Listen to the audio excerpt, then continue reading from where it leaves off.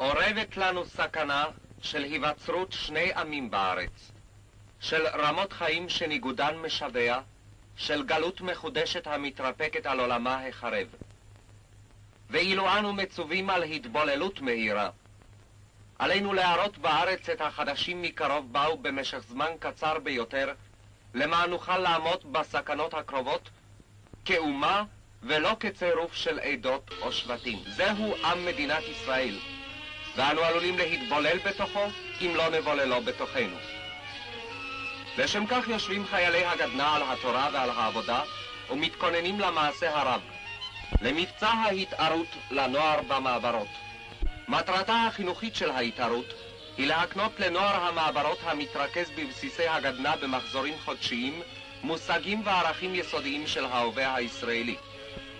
כאן יתואר רק קטע ממבצע זה בסיפור קצר על המפקדת הצעירה רותי ועל החניך סעדיה. רותי סיימה את לימודיה בבית הספר התיכוני באחת מערי הארץ. סעדיה הובא לכאן על כנפי נשרים. רותי התגייסה לצה"ל והתחילה את שירותה בתפקיד ההדרכה בגדנ"ע. סעדיה חי במעברה.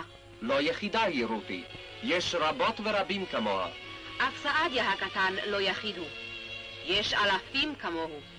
ולמען האלפים האלה לומדת רותי וחבריה את הלכות ההדרכה והחינוך בקורס מפקדים בו שורר סדר, ניקיון, משמעת והעיקר אור ושמחה. וסעדיה שרוי בבערות, לכלוך, בצפיפות. סעדיה רחוק מן האור. שני עולמות מנוגדים, שתי רמות חיים ותרבות שונות. עולמה של רותי מזה, ועולמו של סעדיה מזה. בשם עולם האור יורדת רותי אל סעדיה לעולם החשוך של המעברה. רותי תעניק מאורה לסעדיה, היא תרימו לדרגתה, היא תכניסו לעולמה. ויהיה אור גם לסעדיה, זוהי ההתערות. למה תעשו מעשים בסתר? הרי פחדנות היא.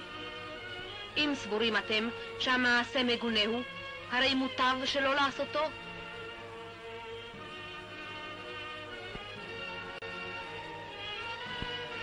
בפעם הראשונה בחייהם שמעו אגדה במקום לספוג מכות. וכך עבדו עשתונותיהם, רעננים ובוטחים. מהעיניים נעלם הפחד. כי העולם של רותי אינו מפחיד, הוא ידידותי, הוא שלנו.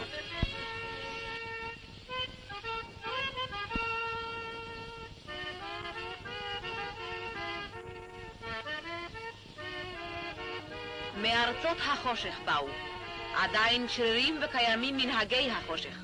הבן לא ישב עם הבת יחד. הכיצד? הרי היא נחותת דרגה. לכן שרים הנערים והנערות, וביניהם המסך המבדיל.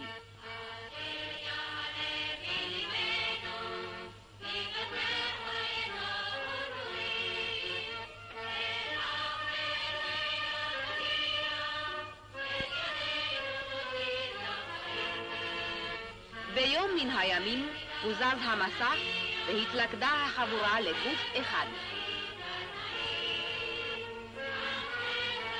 סעדיה נעלב עם הבנות יחד.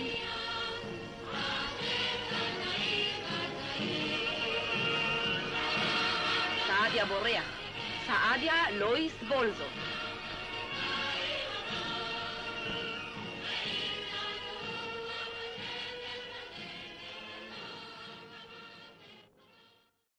הגשם חלף, הלך לו, בא בוקר זיו. העדר הפרוע לבש עור וגידים של חברת נוער ממושמעת, נאמנה, זהה עם עצמה. בלי עונשים, בלי משפטים, בלי גערות, נוצר הרצון המשותף על ידי קצב יומיומי אחיד, על ידי חן וחסד שבידידות. לומדים, מתאמנים, משחקים.